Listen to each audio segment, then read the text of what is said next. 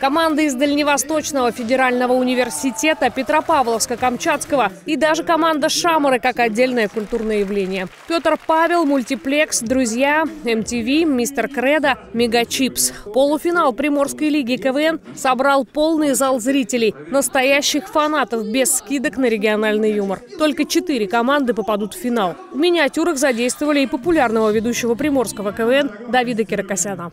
С моей шикарной бородой. С моим вот этим носом выразительным.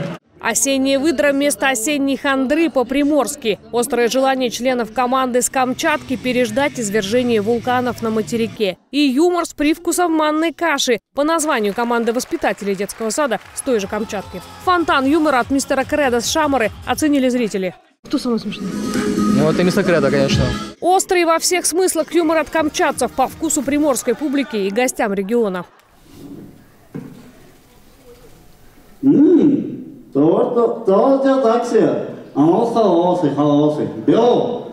В финал игр Приморской лиги КВН предсказуемо вышли две команды ДВФУ «Мультиплекс» и «Друзья», сборная Владивостока «МТВ» и огненная команда «Шамары» «Мистер Кредо».